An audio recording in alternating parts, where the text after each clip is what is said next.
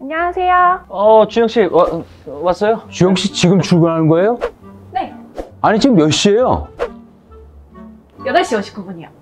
왜요? 아니 우리 출근 시간이 9시잖아요. 1분이나 일찍 왔어요. 그러면 조금 일찍 와서 업무 준비도 하고 선배들 출근하는 거안 보여요? 아... 그럼 10분 일찍 퇴근해도 되나요? 혹시 주영 씨 일부러 이러는 거야? 아니요. 아, 살아야 된다. 살아야 된다. 그래. 부장님.